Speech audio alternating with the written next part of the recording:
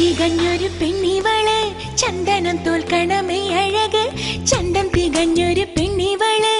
ചന്ദനം തോൽക്കണമേ അഴക്. ഇവളൊന്ന് ചിരിച്ചാൽ ഇവളൊന്ന് ചിരിച്ചാൽ. ചിതറണതൊത്തിരി മുത്ത്.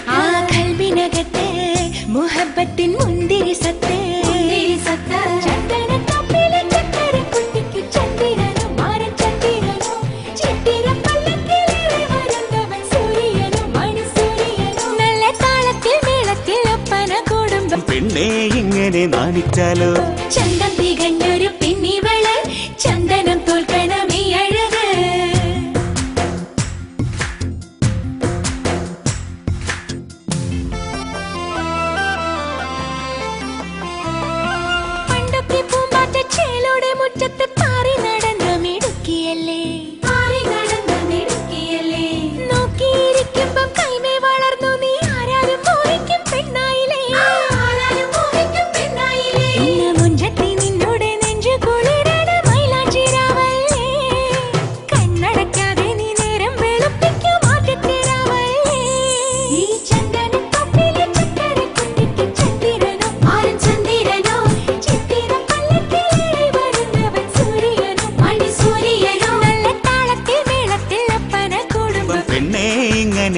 चलो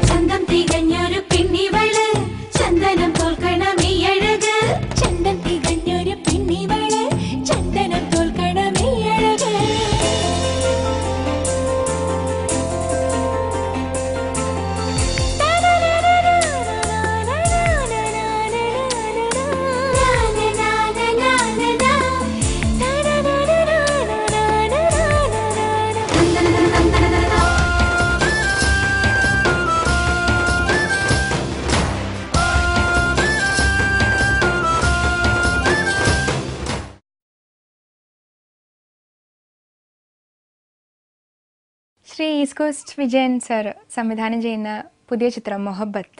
അതിന്റെ റെക്കോർഡിംഗ് വേളയിലാണ് ഞാനിപ്പോൾ നിൽക്കുന്നത്.